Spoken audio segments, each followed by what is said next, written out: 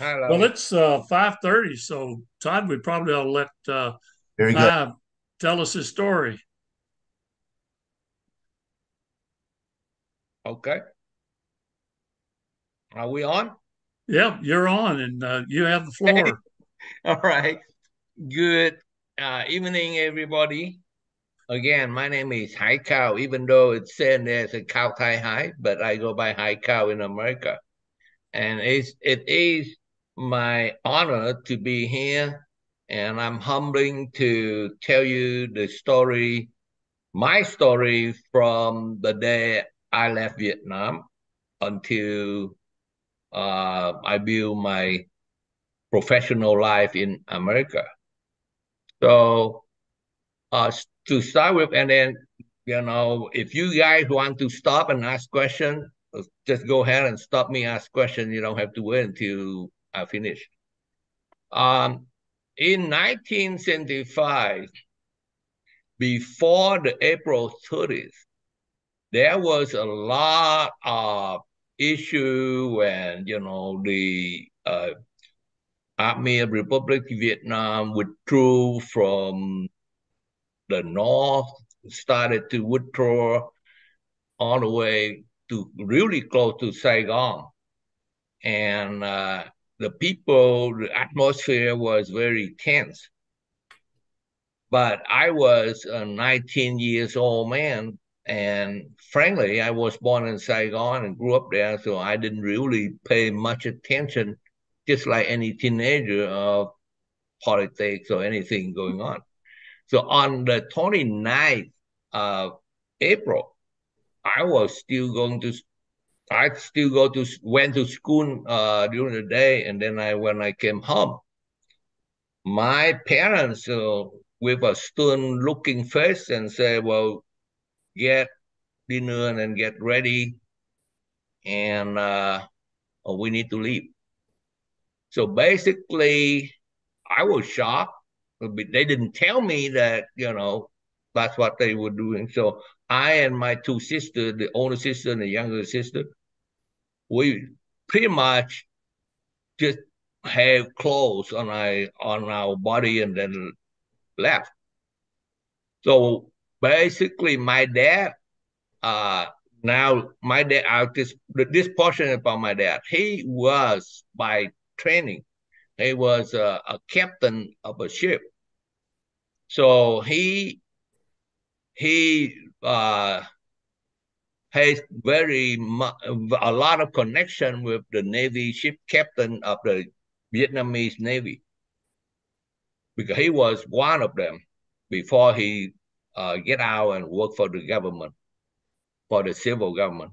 And uh, they talked to him that the the government momentarily will surrender, but do not know when. So he he loaded us onto his ship. His ship is real was really a government ship on uh, Saigon River. If you were from Vietnam, you're in Saigon. You know there's a Saigon River, and uh, it, it, the ship parked there. So we came down to the ship, and when we came to the ship, there was already quite a few people we did not know who get ready to get on that too. But because my dad was a captain, so he knew that uh, the lower deck would be terrible. So he told us to sit on, no matter what, sit on the upper deck. And uh, we will sit there and waited, waited, and then it going to past midnight. And I think it's about one o'clock in the in the night, like the early morning, early morning of April 30th. Then uh, the news of the surrender passed down. So that's when everybody, every captain of the ship, lie up and left Vietnam on that Saigon River. Um, do you guys hear me okay? Or yeah, we hear you great. Okay. And uh, we were leaving at that time. After the surrender, then one by one, ship, all of the ship, mostly Navy. And my dad was one of the shipmen there and lined up and then left. And as we were leaving Saigon on the Saigon River, there was shot as we come down to, if you know, Nha Be, what you know, kind of a little bit out of Saigon into about to go to the ocean. And then shot start firing from the two sides, from the communists and from the Republic Vietnam, the Army of Republic Vietnam. But the ship kept sailing, kept sailing. My my dad kept going, keep going, and uh, we went like that, and it's just terrible because the room on the deck, well, we didn't have room to move. A lot of people, I mean, thousands of people.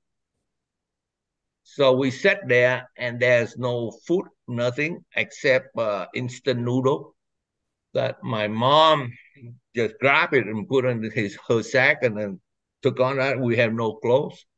And this this part I'm going to tell you is gross, but bear with me. People who sit next to me and all that, they didn't have the I mean they got seasick.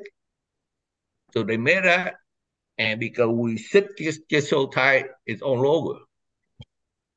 And then it rained, and then the sun come up and it dry.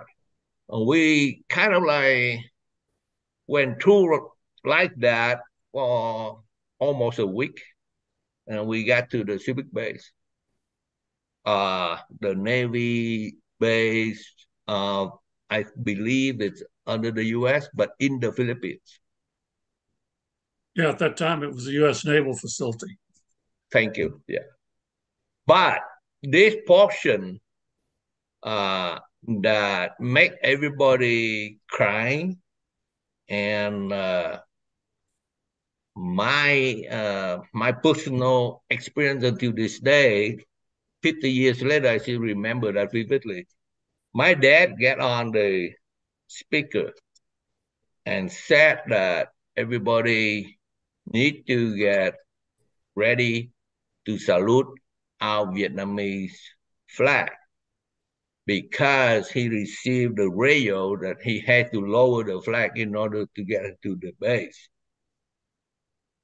You cannot go there with the red, uh, I mean the yellow and three red stripe and go in there. So he performed the, like you know, salute the national anthem and lower the, the flag and take it down. Uh, everybody cried on the on the ship.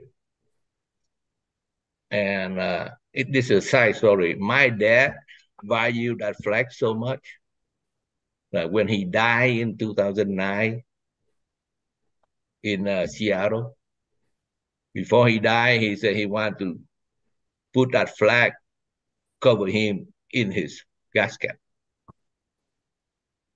And uh, until now, I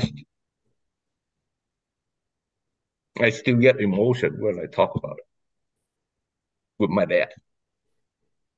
Um, my dad, the way I look at him, he was a very strong man. Uh, you know, like commander the ship, five thousand people that he didn't know and he made some decision uh, that amazingly there was one old older lady for some reason get died and uh, people asked him what to do. He said throw it in the ocean. Can you imagine saying that to the family member. And so he explained to them, he said, I had no choice. I got this many people, and the only way if I bury in the sea. That's another thing. And then a lot of things he did that give me the respect for his commanding, for his leadership. And uh, when we came to the Subic base. When we get out of the ship, get into the base, the first thing they ran is they ran to the computer system. And they look at my dad and they say, You're supposed to be here 10 days ago. And that's true. My dad was on the list to be evacuated by the US Embassy. But he refused to go because 10 days ago, there's really nothing to uh, warrant him to leave Vietnam.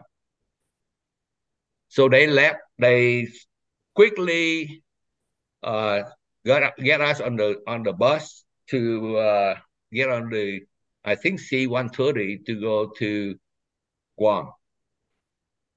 But before that portion, when I get to the Subic base, my body with, with all kind of dirty, I told you, so I need a, a, a shower and need to change clothes. So they have a bunch of old old clothes, and you go select which one that fit you. And then here's here's another thing. We went to like you know a public uh, shower. The the Philippine guy have a hose, and it's up to you. You can take off your clothes or wear your clothes, but he just spray, male or female and that's how you get uh, a shower. And then we, when we done with that, we'll get a new clothes, new clothes to us, but it's clothes from from the from the Navy, whenever that people donated. And then we went to Guam, and that started a good life right there, because when we were arrived at Guam, we were temporarily housed in the old hotel and it's nice, and then I start having good food and all that. And then in like two days, uh, we were on the another plane this Sunday on the Boeing, I think, transport us all the way to Fort Chaffee, Arkansas. That's a refugee camp set up to uh, for the Vietnamese refugee to arrive. That's in Arkansas. And uh, when we came there, we sleep, live in a barrack for, you know, because of the uh, military barrack in the Fort Chaffee. So we stay in the barrack and uh, the normal process is you stay there until somebody, until you find a sponsor or somebody agree to sponsor you and then you get out my uncle lived in Seattle. My uncle is my my dad oldest brother. He had he had lived in Seattle way before that. He had lived in Seattle since 1963. He used to work for President Diem, and after President Diem was killed, he stayed back in the uh, U.S. as a working some sort of for United Nations. But he sponsored us before the actual uh, collapse of Vietnam.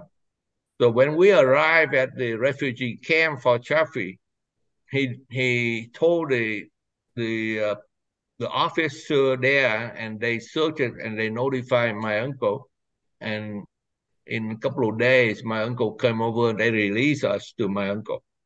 So at that time we were so happy because we just like you know uh, the the journey from Vietnam to to Seattle was really fast. We arrived in Seattle on uh, June third, uh, 1975. So that's a record fast. When we arrived in in, in uh, Seattle, there was nobody there, not yet. They're still in the refugee camp being processed. Um, so the minute I arrived in Seattle, my dad and my uncle uh, belonged to a Catholic parish. So he took us there to introduce us to the pe- the parishioner, there, the people in there. And there was one lady. Her name is Laurie. And uh, she was an English teacher in high school. So uh, she agreed, she kind of volunteered to uh, be like um, a teacher, a mentor for us in English. So every day I start learning English from Laurie. But uh, because we were not refugee, we were not classified as refugee, but we were classified as uh, family immigrant, uh, uh, family sponsored family. So we had to find job. So Laurie, the uh, English teacher, looked for us, for me, in uh, a school, community, community, community college, a job as a janitor, working on graveyard shift from 11 to 7 o'clock in the morning. So a week after I got Seattle, I got that job. So I worked there, but I forgot to tell you when, when I left Vietnam, I was a, sec- a sophomore of law school in University of Saigon back then. But when when uh, Laurie found me a job and I started there, and then I learned English, and then I want to go back to school to yet continue on with my uh, uh, education. So uh, I took the test, called TOEFL test, the English test for non-English speaking students. And I passed that.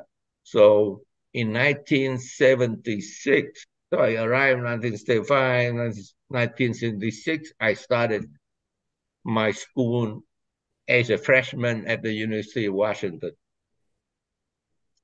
And then I studied mechanical engineer.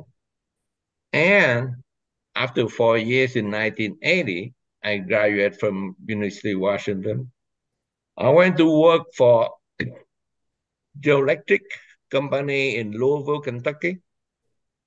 Uh, making, they call, they have a major appliance business. They're a big major appliance, they build refrigerator, build all kind of appliance in, in the house, house appliance. I worked there and then uh, at night I go to I went to school for my master degree. And uh, after a year, they transferred me to San Jose to work for the nuclear division. So I continue my master degree. So I got my uh, master degree in system engineering at San Jose State University.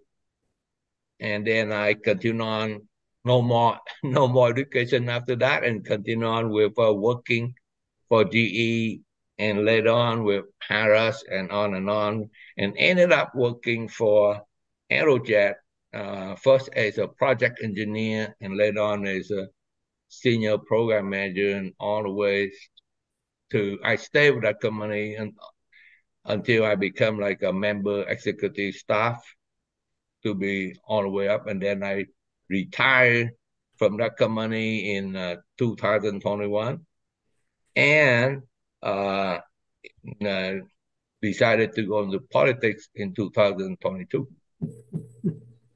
and uh, that's my escape or my journey from Vietnam to America.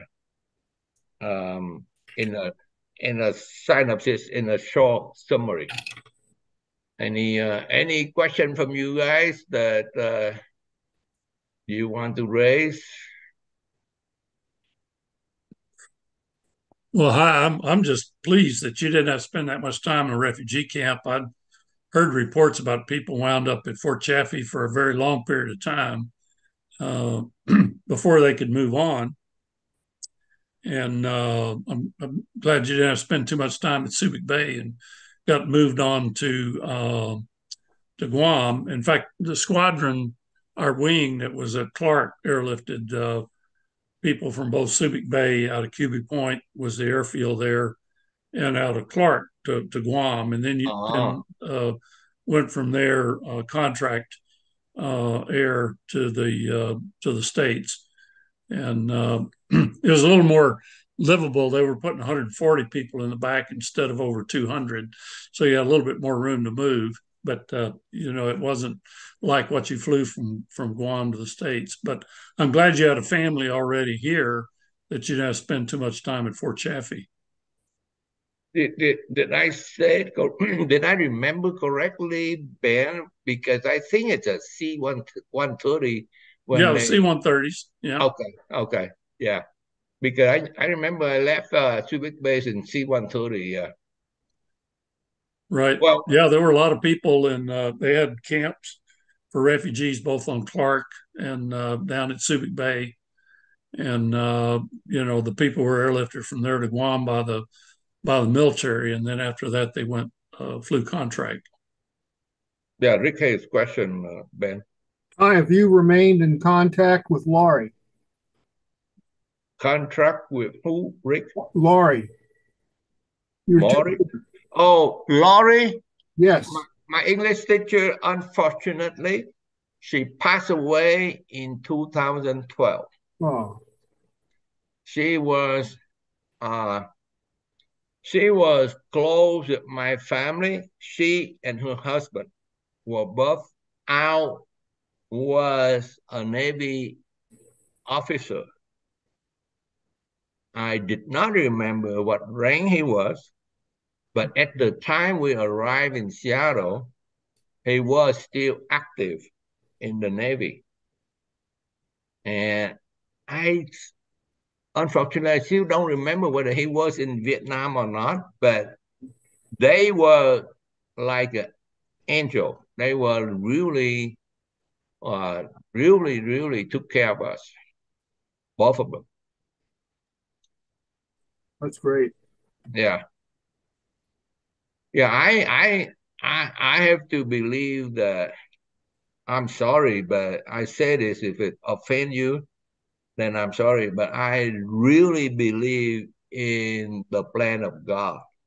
My mom she taught me that too because you know you could you, you cannot believe how we could survive from the trip from uh, Saigon River to the Subic base. And and my mom, my parents always think that always taught us that there's a plan from the man up there. So you just have to uh, follow the plan.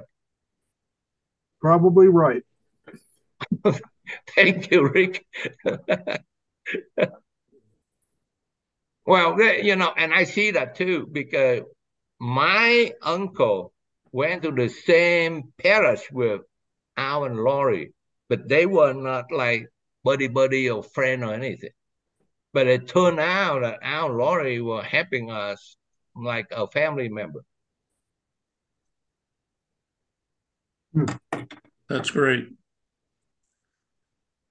And and uh if you don't have any question, I want to move from a different aspect of my life.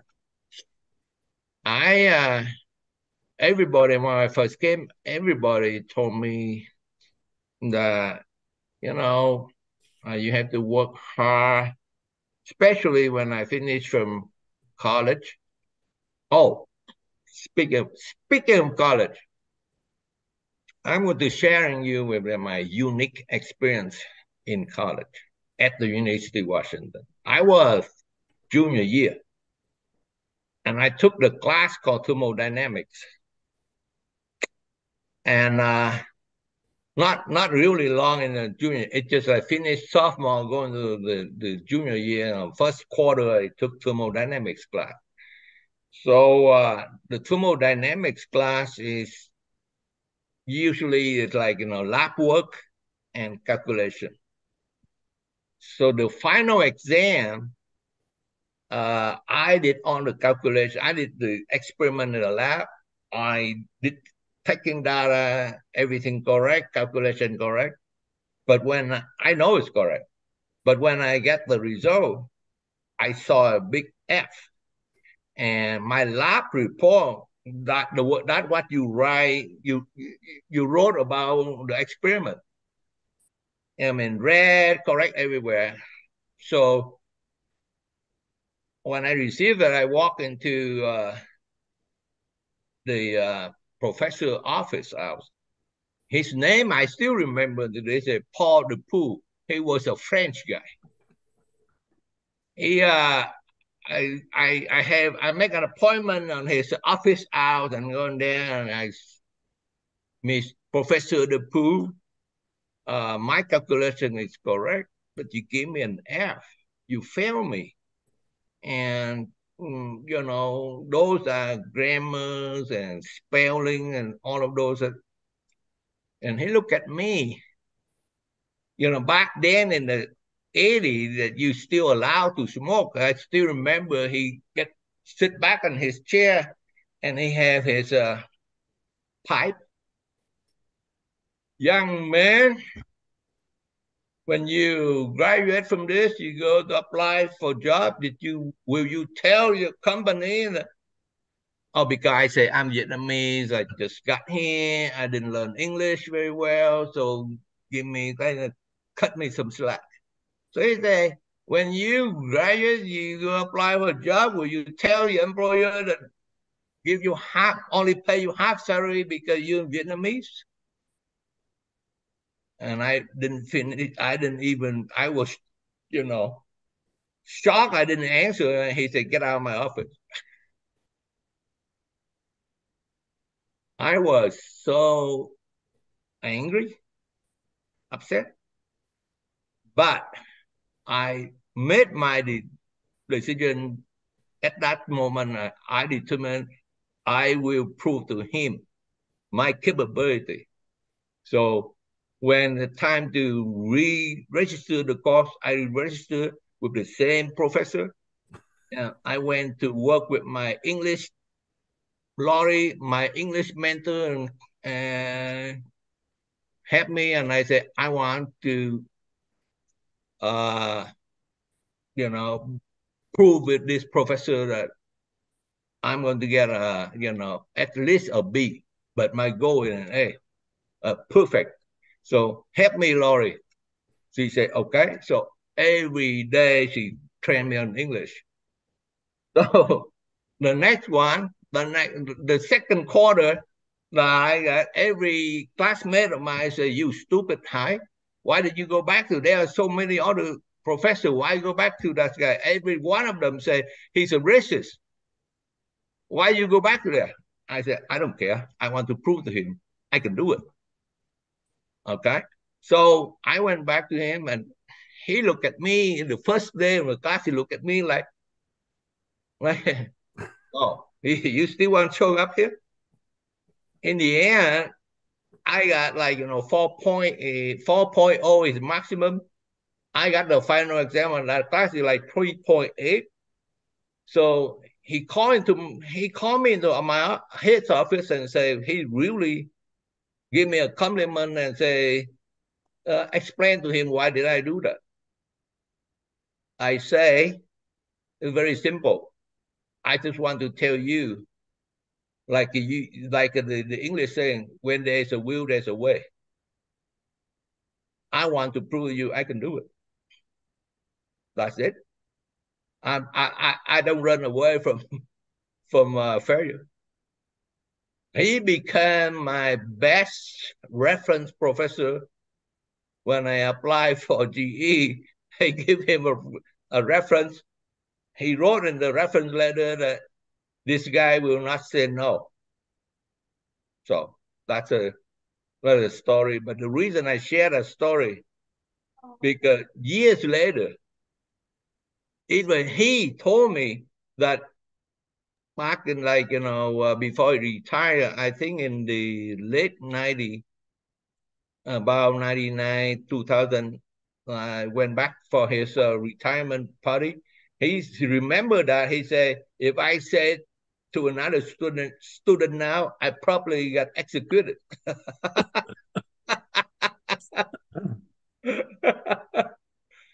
I said, no, no. I took it as a, a good motivation. So that's a, a little side story I want to share. That's a great story. And and and by the way, I kept telling my children when they growing up that just have to do your best and don't think that um, don't keep thinking that you don't get what you want because you are being discriminated. You may not get what you want, not because you are being discriminated, but because you are not good enough. And they said, so that one of my my son said that, so you don't think that they're discriminating discriminating us? I said, I don't I do not say that they don't. But I'm telling you, you have to go beyond that and make them that they cannot do it because you're so good. So I told them, I said, don't think that Aerojet hired me the only one in the senior management because they just want to be uh, complying with uh, equal uh, opportunity and all that. If I don't make money for Aerojet, they don't hire me for a minute. And the same thing that if I'm as good as a Caucasian, they hire a Caucasian. Why the hell they have to hire a Vietnamese who speak English with an accent? So I have to be better than the Caucasian. That they cannot afford not to hire me. That's how I teach my kids. Don't quickly think that you're being discriminated. And that I, I have lived all my life like that. But they can they, they they they hire me because of my contribution, not because of my of my skin color.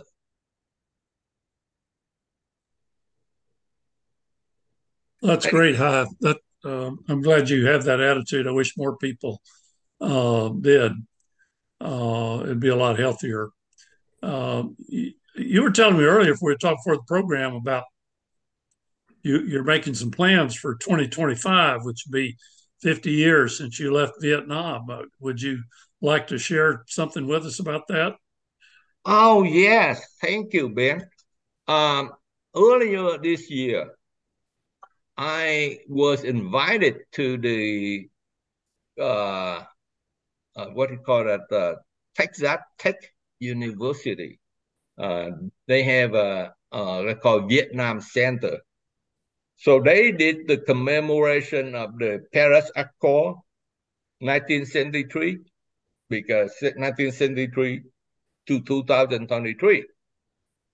So they uh, told me that they want to do something for the uh, 50 years of the Vietnamese refugee arrived to the U.S. So that means 75 to 2025. So I have been thinking about looking for the successful Vietnamese uh, refugee who came here and successfully re-established themselves in this society. And uh, by talking with Ben, Ben mentioned uh, earlier there's a, a Vietnamese doctor that came here and were able to restore his doctor career. And there's another pilot. So I'm and was able to do the same thing. So I'm thinking that not only those, but so many successful stories uh, that we can just light up, but particularly those veterans in the in in the world from uh, from the Vietnamese uh, army from the Army of Republic of Vietnam, and if they were successful here, I'm not talking about those who grew up here. I'm talking about those that came from Vietnam and uh, became successful here uh, with their career. and we can just make a program together, and uh, we'll go to uh, we go to put on a show. I mean, not a show, like a presentation. that would be good. Yeah, that'd be great. Yeah, the uh, physician that I was telling you about, he was actually a surgeon in Vietnam. He became a anesthesiologist here, uh, and the pilot I was talking about, uh, Todd, they they're part of the Vietnamese community here in the Pittsburgh area. Todd may be able to, to contact some of those people. Um, so that that'd be good. There were a number number of people there who have been very active in uh, you know the workforce and and uh, culture here in the Pittsburgh area, and I would think that you would have the same in uh, the Atlanta area where you are. Uh, actually, not Ben, because the the people who were here, I've been I've been here for ten years in Atlanta, about nine and a half years, almost ten years uh, they were, for some reason, they were not, um, there were one famous guy here. Uh, he was like in a special force. He works for, he was like a contract for the U.S. Special Force. And uh, he was captured by the, the by uh, Hanoi all you know very early, and then he didn't. They didn't even release him until way past seventy five. So he spent like thirty years in in the prison in in Hanoi. oh my! But he survived, but he he was not like restoring his uh, his because he really uh, by the time he got here he he's too old to and he didn't really have a, a, a special professional career like the physician or on the pilot or anything. He just was like a special special force. And, and which university is hosting that? Uh, Texas Tech. Texas. Tech in Lubbock. Yeah. In okay. in Bullock. Texas Tech University. Yeah, Texas Tech University. It's in Lubbock, Texas. Yeah. That they have they have uh they call Vietnam Center. They yes. want to they want to establish themselves like you know the the the deposit depositor of all of the Vietnam war history and documents and all of that. Yeah, we've had uh, some folks there uh, on the VBC program before. yeah, they're good people. And uh, recently, there's another organization I've been in communication with that had done a lot of mission trips in Vietnam, pr- predominantly medical mission trips. And uh, they chose to archive all their information with that Vietnam Center at Texas Tech. There is a new a newer one um, they call Oregon University of Oregon. They also are doing like a Texas Tech. They also create a, a Vietnam Center, but at or, or University University of Oregon. Yeah, they're in uh, Eugene, Oregon. That's right. That's right. Yeah, Eugene. well, that's great. But, anything else from your uh, becoming acclimated to being an American because you're an American now, uh, as well as uh, a Vietnamese heritage that you'd like to share with us? They, I, uh, I'm glad you mentioned that. I think the most I have observed even now for Vietnamese just arrived here uh, to the uh, Vietnamese American who grew up here, uh, the cultural difference. And also, I have observed a lot of parents, even parents who live who came here a long time, but still struggling with uh, cultural difference, basically in Vietnamese culture. If you are the dad or a higher rank, you say something to the younger uh, son, kid, or student, you expect no uh, talk back. You say jump, jump. No question asked. You don't allow to ask. Parents are God. They had to be right, always right. And uh, the kid grew up here or was born here, they have that problem with like there are so many Vietnamese family that the grandparents still live with the parents and they still with the grandkids. So when the grandkids talk to the grandparents, the grandparents still uh, have that mentality that if I say that you do, you don't talk back, don't question nothing. That has been the struggle in so many Vietnamese families. So I have been trying to explain to so many family that I am like a, the trans. I call myself a transitional generation. That yes, I was born in Vietnam, but most of three quarter of my life now is in America. Plus, I uh, I went to school here. I worked in American company. I adopted a lot of American uh, culture. So I explained to them that you just have to accept kid go to school, your grandkid go to school, now come back asking the question. I have, I just recently have a, a situation that a friend of mine uh, kind of like complain about his daughter. I called a friend, but he was younger than me. Uh, he came here not so long ago, but his daughter was born here. So his daughter went to school and she's about 12 to 10 years old.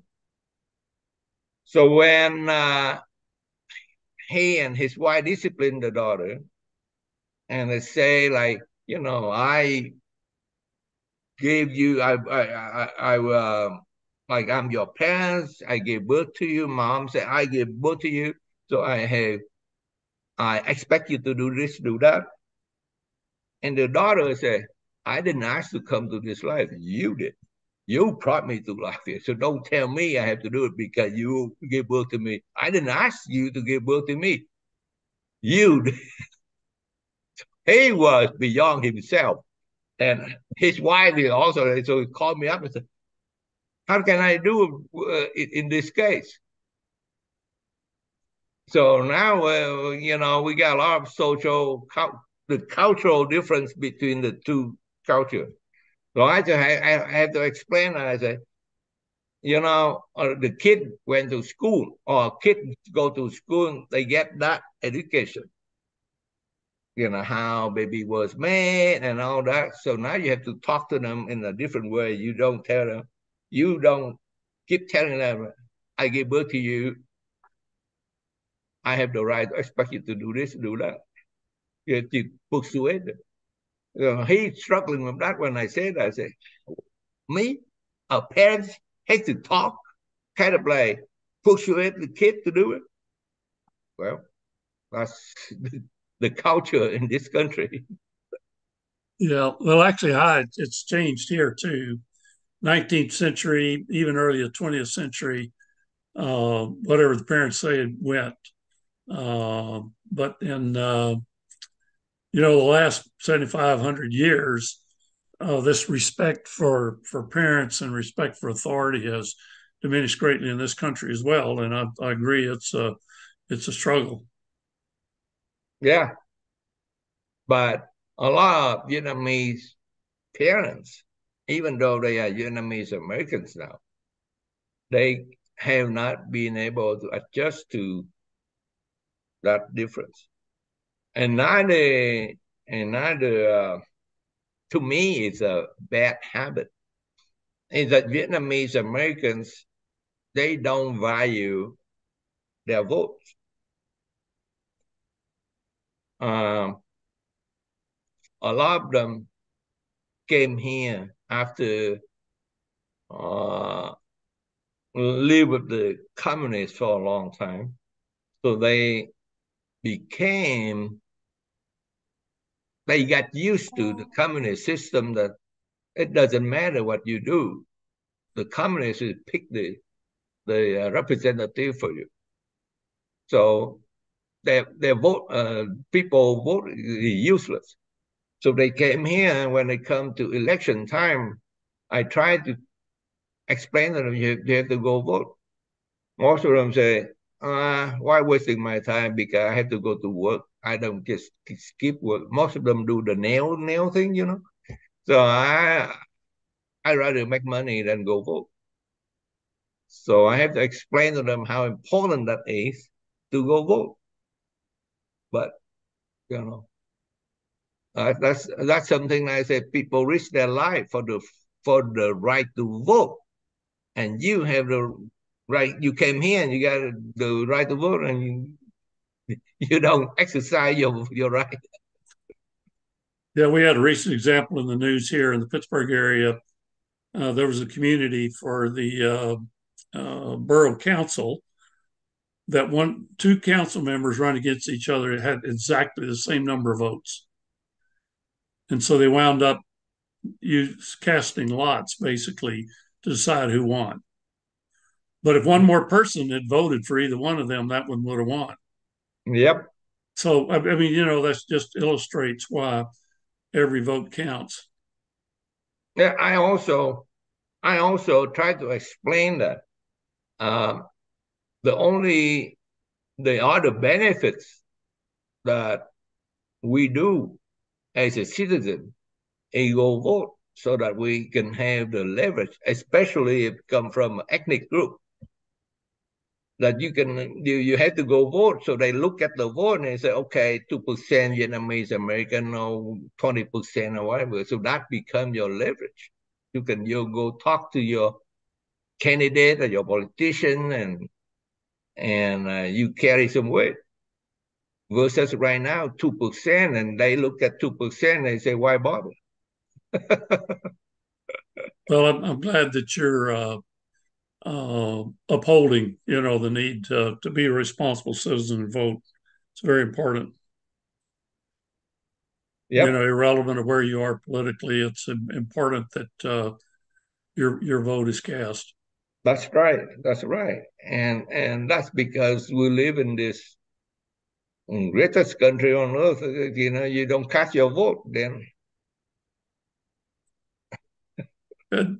Anybody else have questions for Hai before we uh, press on? I appreciate Hai coming to tell his story. Uh, oh, uh, Rick.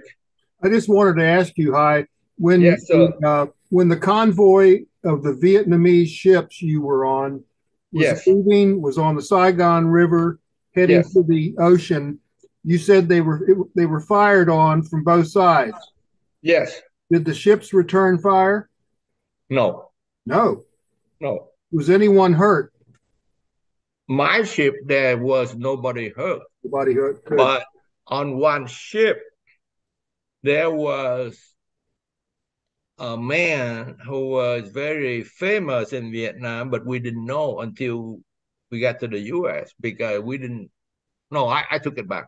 My dad talked to, to the other on the radio and and he knew that our ship didn't have anybody die, but they, on on the other ship there was he was a, a newspaper publisher. His name is Chu Tử, and he got hit and he died.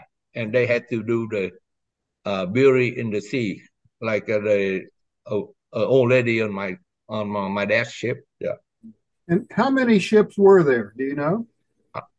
I had to venture to say, like most of the Navy ship, the not like uh, the big, big, big, big uh, plane ship, but most of the Navy were lined up to leave. the ship from the Vietnam Vietnamese Navy. So I don't know how many. It's all right. Thank you. I think that they they return in those navy ships. They also have private commercial ship, but they're all lighter. They kind of like mixed with navy. Yeah, that had to be quite a sight. Oh yeah, yeah. Well, and you were on a big enough ship to go all the way to Subic Bay. That's a good trek right. from uh, Saigon to Subic Bay. My dad's ship was also not his ship. It's a government ship. Right. Because at the time that he was he was not he was no longer a captain for a long time because he left. He worked for he worked for Saigon Port, Saigon Harbor. He was like you know director of Saigon Port. You know, kind of like uh, his job was like you know get approval for what ship in and what ship we get out and when and all that. So he no he was no longer he was not a ship captain for quite some time. But surprisingly, he still remember. I guess just like driving a car. You, you don't drive a car for a while, but you still know how to drive the car. oh, that's great. Any other significant things from your story you want to share with us, Huh? Uh, I just want to share another thing that the reason that I involved in politics. This is my intimate telling with you guys. Like when I was in Vietnam, born in Saigon, grew up, I was not I didn't pay any attention to politics or anything. But I did uh, took a, a, class called Political 101. And and uh, the professor who taught that class, I met him again in Seattle when I came to Seattle, not met him in the USA. When he came to the USA, he worked for Harvard University.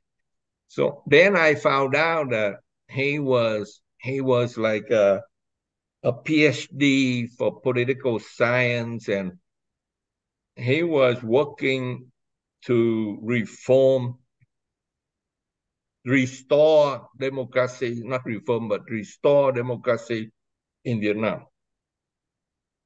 So he invited me to join his uh, party called Đại Việt Nationalist Party. But that, that party had been in existing since 1939. And I have been in that party until now. And right now I'm a vice president of that political party, Đại Việt Nationalist Party. And the, the vision and the, the objective that is to bring uh, freedom of election, freedom of vote, uh, human rights, and democracy for people in Vietnam. And that's the sideline that I've been working until I retired. and I decided in go into the the mainstream American politics uh, for me to have a chance to convince and lobby the American politics and the American uh, the political arena. Because a lot of people even in different administration that they did not really understand how evil the Vietnamese Communist Party, or for that matter, Chinese Communist Party. I went, like in May of this year, I went to the uh, State Department. I met very young political advisor, political think tank in the uh, secret in the State Department, but they have no idea. Uh, they have no experience with communists. So by talking to them, I basically have to share with them and uh, tell them how devious the communists are. And that's the reason I want to pursue my political career to give me the chance to have a platform to talk to American government and help preserve this country because I do not want this country to fall apart. Yeah. Well, I hope uh, that you and your organization succeed in bringing democracy to Vietnam. It'd be wonderful. I shared with you about the lady we met at the DMZ. Rick uh, Erisman is on here, and he probably heard her too. Uh, she and her husband had met us there at the DMZ. And I don't know exactly what they did in Saigon. I kind of got the impression they were in some sort of a, a business uh, endeavor there and were visiting. And, and she told us, well, you come back in 10 years and the communists will be gone uh, because we're going to own the place. And, uh, you know, my feeling is I hope you're right with your entrepreneurship that you have that uh, whether if you do it economically, politically, or however you do it, um, that if you can bring uh, democracy and, and freedom and liberty uh, to the people in Vietnam, that would be absolutely wonderful. They were so they were so thrilled to meet those six Vietnam veterans. Uh, they were overwhelmed with the contact they had. They were so thankful for us having been there. What language did they talk to you, Rick and Ben? I, I don't know what their what their names were. No, no. Uh, the, the woman's they... pictures on uh, three, four issues ago of the yeah, she's Veterans Breakfast Club magazine of the VBC magazine about two two issues ago. My question is, how do they? How did she communicate with you in English or in, in English? Oh yeah, yes. definitely. Oh yeah. She spoke very good English. Very good. very good English. Oh yes. yeah. We thought. Wow. Well, I, I, I, she may be optimistic. Oh, I'm optimistic. I mean, they're they're hard. Well, as you well know, they're hardworking people with a strong work ethic, and uh, uh, very industrious, uh, very smart. And uh, the only thing holding back is a very corrupt communist government. So I hope you succeed. Well, I, I hope so too, but uh, you know, it's not an easy, not a, like you know, walking uh, walking water. Or, yeah, no. it, it, it, it, it, it's that last week. Last week they were. Uh, you guys uh, aware that last week there there was uh, APEC, Asia Pacific right. in San Francisco. In San Francisco, and the president of Vietnam, Võ Văn Thưởng, attended together with uh, Xi Jinping from China. And uh, what happened was in Vietnam, see, the, the APEC meeting started on last Wednesday on the 15th of November. On the 14th, the uh, police, similar to the FBI here, arrested one of their superstar uh, representative. Their representative already were handpicked by the Communist Party. But this guy, his name is Lu Những, he was a different, different animal. He had a PhD in law. I don't know if it's in Vietnam or Russia or somewhere, but he's a college professor. He's a professor of law school in Vietnam. At the same time, he was a member of the uh, Congress of the communists there. And he constantly uh, criticized the government, uh, the Communist Party, the Vietnamese Communist Party. And he confronted the head of the so-called uh, police state, police department, big police, um, central police, and they arrested him the day before. not not freedom of speech or freedom of expression. Exactly. Yeah. That's that's, that's my point. And anybody who who dare to speak against them, arrest. Yeah. So there, there's no freedom there. If you if you uh, go there, if you live there and you don't say anything and you just enjoy life and don't even mention to to uh, uh, government or anything, then it's okay. I had a show on YouTube with a host. Her name is Rachel Lay. And if I say, if I go on her show, if I say something that's on YouTube, but uh, if I say something offended to the communist government, they told Google, YouTube to suspend her account. Like, you know, a warning for two days, repeated a week or all that. So they listen to everything, even here. Oh, yes. Well, when we went to Vietnam, and, and, and Rick and I both knew that, you know, you get on the Wi Fi in the hotel or any communication that you made in Vietnam, just assume you're being monitored. Uh, I mean, that's just the way it is. So don't say or write anything that uh, uh, you you don't want anybody else to know. it's a sad, sad, sad world when when you don't have freedom of expression. You got people, uh, you know, basically spying on you. Don't yeah. Take, don't take pictures at the Ho Chi Minh Mausoleum. Oh, we almost got a guy. he was taking photos, uh, you know, in Hanoi at that mausoleum that they have for Ho Chi Minh. Yeah. They wanted to confiscate his camera and oh my. Yeah, big time. why why what what's the reason, Rick and Ben? What the reason they do not allow to take picture of they, they prohibit it for whatever reason. Was there a sign or we didn't see it?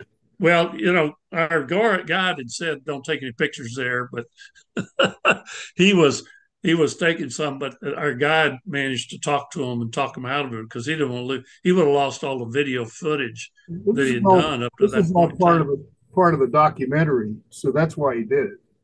Yeah, but uh, yeah, but any rate, yeah, they they uh, were they didn't want to take any photos there for whatever reason. So it, it's the old thing. You don't have freedom of action either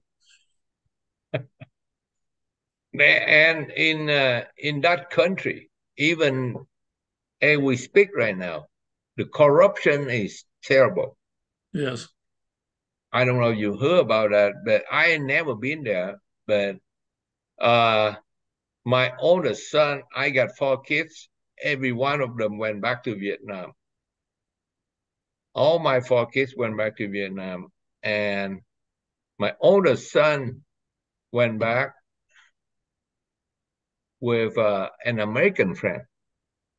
That was like 10 years ago. And they, uh, when they, on his way in, they asked for money. And my son said, I don't have any money. They, they say, you don't have money? He said, no, I, I use credit card. I don't have cash. So they just said, then go. And on his way out, exit Vietnam, they asked again.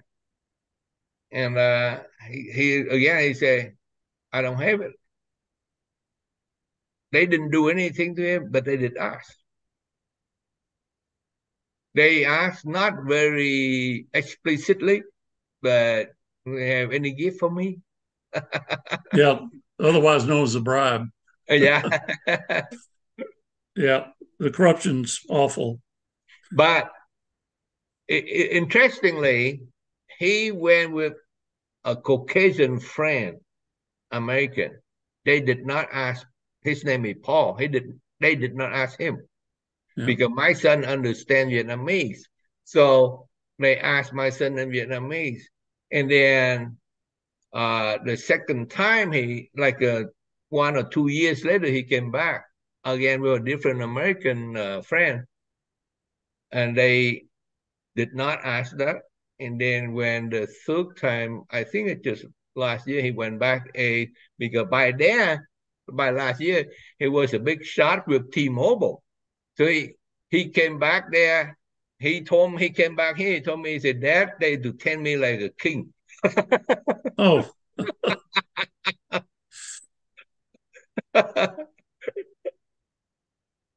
so to my to my kids, there's nothing on the surface, uh, like you know, material life in Vietnam. My son, all my four kids say, their life in in in uh, in Vietnam is no different than America. Every single young person has a cell phone and blue jean, and their life is just like American life. They don't see the like you know the of being a poor country.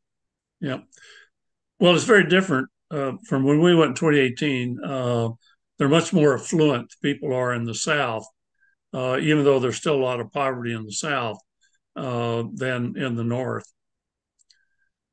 So that tells you the difference is the the level of affluence between the two. So 2018 is very recent, only five years ago. Right. So it's still visible the difference between North and South. Oh yes. Ah. Yeah, I hope before I die, I got a chance to go back. Well, I hope you do too, and uh, hopefully it'll work out for you where you can can do that safely.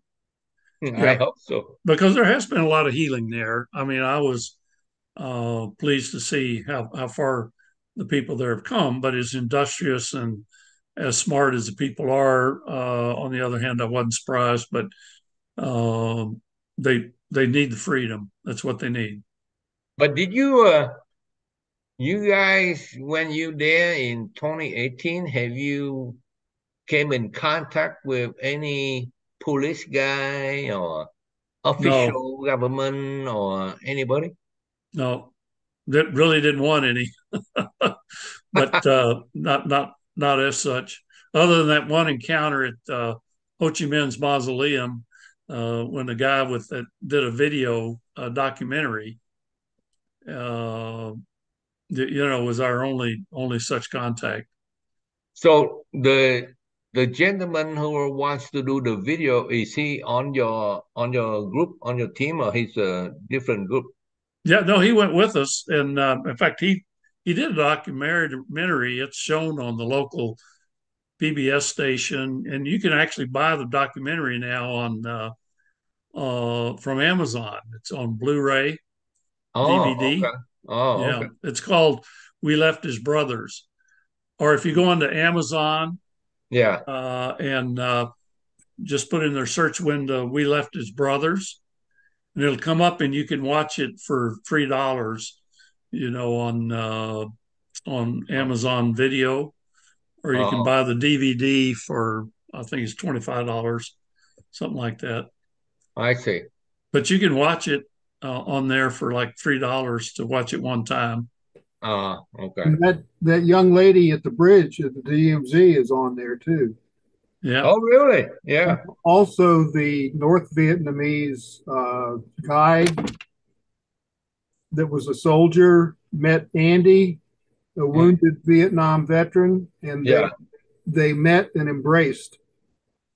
Uh, the the other the Vietnamese also was a veteran. Oh yes. Yeah. Oh, he had his war wounds too, because he, he looked at at the guy that was with us, you know, who was uh, seriously wounded in Vietnam. So he's uh, got a lot of scars on his face as a result. And uh, the man comes up to him and they, you know, he couldn't speak English, but he knew a little bit and he said war and points to it. And then he pulled up his pants leg and showed where he had a wound, uh, you know, the scar. And that's in the in the documentary. Yeah, and then you know they just embraced each other. They were two soldiers you know, doing what they were were called to do, but uh, by different different governments. But uh, everything was fine between the two of them. It was uh, a very touching scene. you know, because this man had been in the North Vietnamese army. He was a North Vietnamese regular. Mm. He he he is not the the uh, called National Liberation Front soldier. No, he no, was, he was he was uh, a Vietnamese regular from he was a Vietnamese regular from the north. Okay, right, yeah.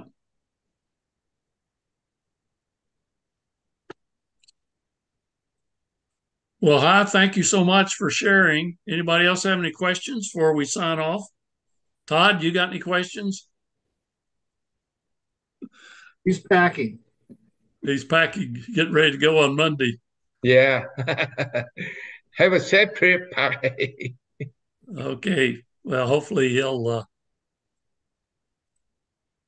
he'll come up because I need to get him to transfer host back to me so we can sign out. and he can stop the the YouTube. But I think I can sign out from here.